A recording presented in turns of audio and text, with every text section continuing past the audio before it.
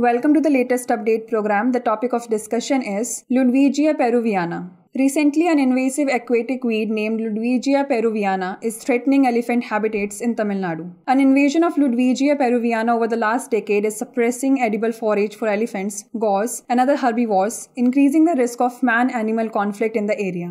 Ludwigia peruviana, which grows fast long water bodies, has infested majority of the hill station swamps, locally known as vayals. Most of these swamps are located in private estates, which are responsible for the tricky process of removing the weed. The large scale spread of the weed, used as an ornamental plant for its tiny yellow flowers, has shaken the balance of the four aging grounds, thus limiting the growth of grass and native plants that are palatable to elephants and other animals, including gaur. Unlike other invasive plants, Ludwigia poses a unique challenge as it grows in swamps, and there is little scope to use machinery, which may further destroy the ecosystem.